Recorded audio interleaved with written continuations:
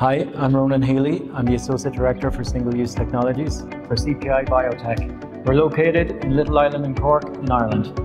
We manufacture single use assemblies and bioprocess kits for the biopharmaceutical industry, serving Ireland and international.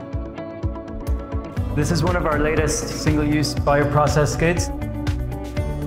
This is a PUPSIT final filtration skid for highly potent antibody drug conjugates utilizing a PUPSIT setup for post-sterilization and pre-use integrity testing. We have a four glove port opening with access to all of the valves and instrumentation within. Here we have our CPI Biotech shadow board designed in-house using quality by design principles by the engineering team the shadow board displaying the single-use flow path, outlining the valve locations, the pressure sensor locations, is all designed in-house by the engineering team. Inside we have a full setup for final filtration.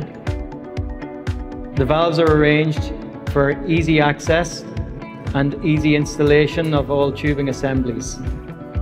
The filters are mounted on interchangeable clamps for changing out between filter manufacturers. The volume of WFI flushed through the filters is collected in a waste bag and is monitored from a Mettler Toledo load cell. This is an innovative skid whereby it brings a PUPSIT cart into an antibody drug conjugate manufacturing facility, giving operator protection using a polycarbonate enclosure and glove ports to control all valves and take samples we're really excited to be delivering these skids to our customers using the latest single-use technologies in the biomanufacturing industry.